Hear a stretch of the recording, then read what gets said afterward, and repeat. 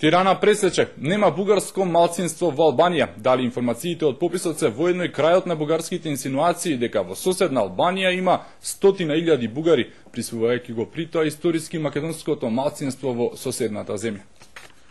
Официјална Тирана стави крај на бугарската асимилаторска пропаганда против македонското малцинство во Албанија, испровоцирани од серијата надписи во бугарските медиуми според кои во Албанија живеат над 100.000 бугари, но дека точната бројка не се знае затоа што не се води евиденција. Албанските власти денеска ги објавија податоците од последниот попис во 2001 година.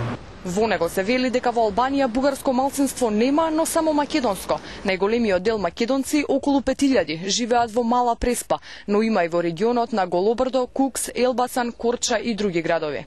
Овие такви изјави од бугарската јавност се иритирачни за нас, бидејќи ние нашето потекло свесни сме што сме, ние знаеме дека сме македонци. Ако Булгарите мислат надвор од нашето малцинство македонско постојат булгари, тоа нема такви информации во Албанија, ниту еден булгарин единствено може во амбасадата тие вработените што се во Тирана да се бугари. Со ова се демантираат тврдењата на бугарските историчари дека токму во овие региони има бугарски села.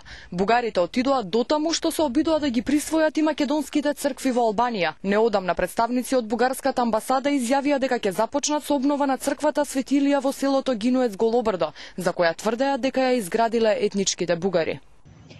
Тирана со порака до Софија. Во Албанија нема бугарско, туку има македонско малцинство. Албанскиот завод за статистика ги отфрли информациите за постоење бугарско малцинство во Албанија.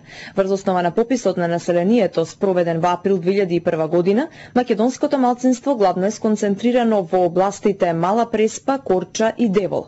Албанскиот завод за статистика тврди дека во овие подрачја живее над 90% од ова малцинство во земјата, кое според пописот броело 4148 жители.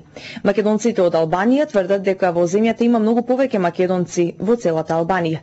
Ги има во Голобердо, во Кукс, околу 20.000 се во Елбаса, на по повеќе илјади се во Драч, Каваја и Фиер.